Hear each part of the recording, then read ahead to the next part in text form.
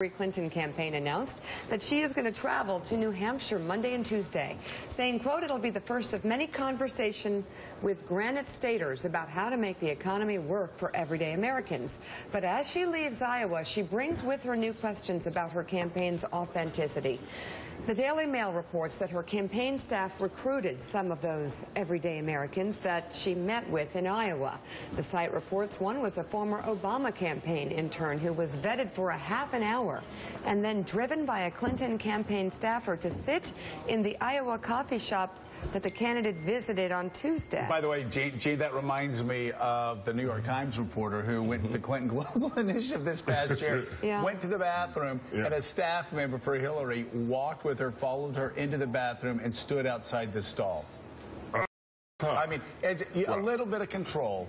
You uh, think uh, there's a little here. control freakishness uh, sort of happening?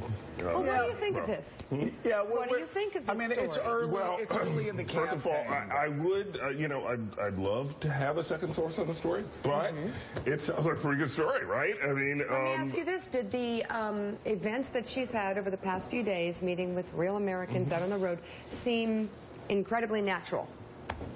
Well, no, it's a campaign launch. Well, so there's nothing natural it. about a campaign launch. Like, okay, no one's well, no, going to say well, it. no, one's going to say it. Mika, so what do you mean nobody's going to well, say, it?